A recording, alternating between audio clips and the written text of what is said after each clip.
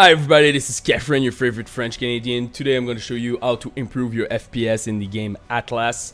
Uh, first of all, the game is not well optimized right now. It's pretty much crazy.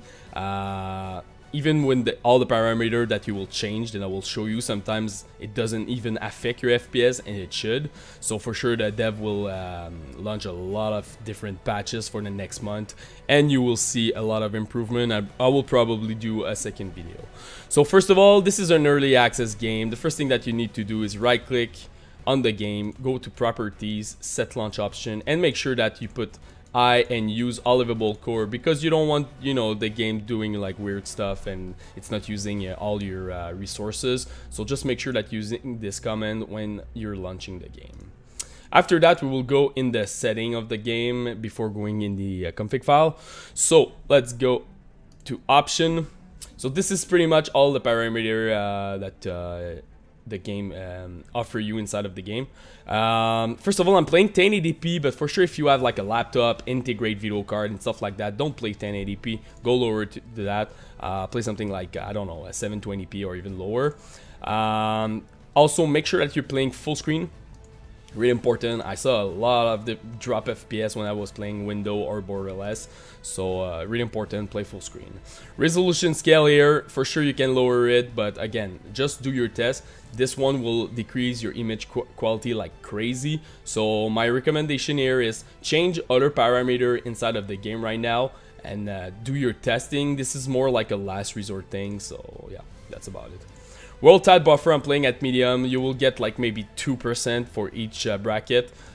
So that's a pretty huge uh, chunk, but it's not the most important setting right now. View distance, make sure that you're playing medium or low. If you have a low-end computer, go with low. You don't want to render it like crazy in front of you. You will lose a lot of FPS. Anti-aliasing, I'm playing at medium. Don't go high in Epic. I saw a big decrease when you use high in Epic. I feel like medium is the perfect uh, um, parameter right now because you don't see a big difference with low and you're getting a, a nice uh, anti-aliasing uh, uh, in this game because low I, I feel like all the objects are kind of breaking so it's not that great so play at medium. Post-processing same thing I'm playing at medium. Big chunk here to get FPS general shadows terrain shadow ambient lighting put those three at low and you will gain a nice chunk like something like 9 to 11 percent of the total of your fps so a big increase over here really important. Texture i'm playing at epic doesn't change anything. It depends on your vram for sure if you have like 2 gig and less play at medium or even low. Uh, so it depends on the, the number of vram that you have on your video card.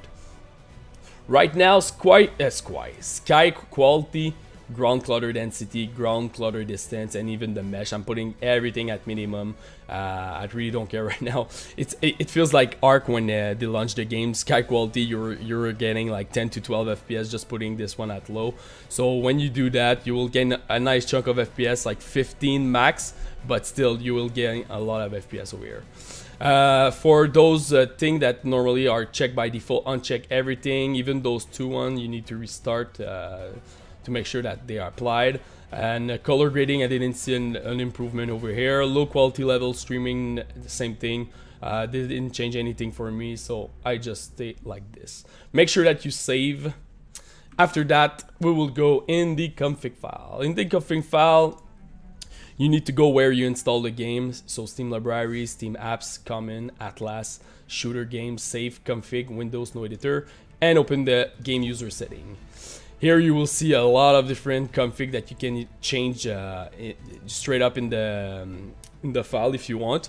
But also you will see if you scroll down uh, more more setting that you didn't see in the game, like wave work quality, I put this one at 0. And if you see random effect quality still at 3 or true, true sky quality still at 3, make sure that you put 0 here. 0 mean low in this game, so uh, really important. Do that and uh, change your para graphic parameter over here. After that, make sure that you save. Right now I can't because it's a read-only option. And lock the file. So right click here, properties, read only. That's why I didn't save uh, in this video because I was in read only. So you want to make sure that the game doesn't override your graphic parameters so really important. Uh, stay like this for the next maybe I don't know two or three weeks.